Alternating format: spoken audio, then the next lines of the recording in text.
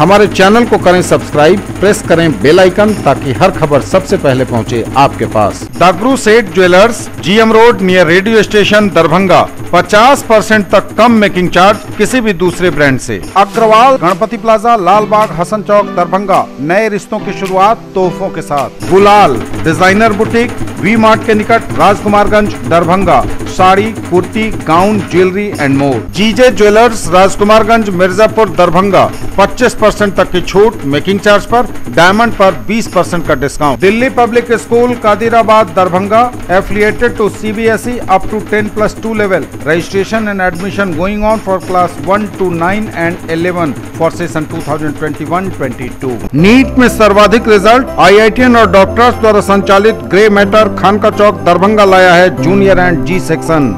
Darbhanga station पर चला बड़े पैमाने पर सर्च ऑपरेशन, लेकिन सवाल बड़ा यह कि बड़ी घटना होने पर ही चौकस होती है सुरक्षा एजेंसियाँ। बाद में स्टेशन और परिसर की सुरक्षा व्यवस्था का मुद्दा ठंडे बस्ते में रहता।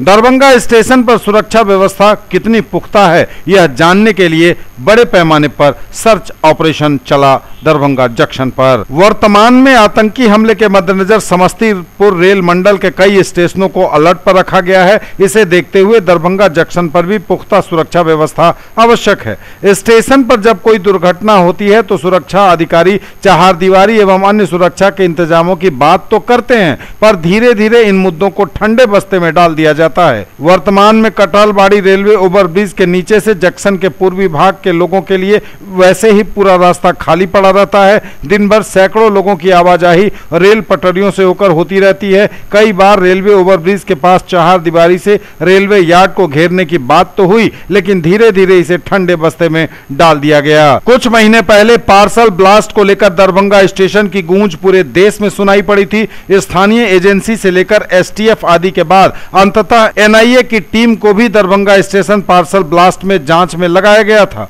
कई बड़े आतंकी इस ब्लास्ट से जुड़ते नज़र आए हैं। अभी दिल्ली में पकड़े गए आतंकी, जिसे आईएसआई एजेंट भी करार दिया गया है, उसकी ओर से रेलवे ट्रैक आदि को नुकसान पहुँचाने की बात की बाबत समस्तीपुर रेल मंडल के, और इन सबको देखते हुए दरभंगा स्टेशन पर सुरक्षा व्यवस्था पुख्ता करने की बात एक बार फिर की गई है। बड़े पैमाने पर चलाया गया है सर्च ऑपरेशन। रेल पुलिस अधीक्षक महोदय द्वारा हम लोगों को दिशा निर्देश दिया गया है और अलर्ट दिया गया है।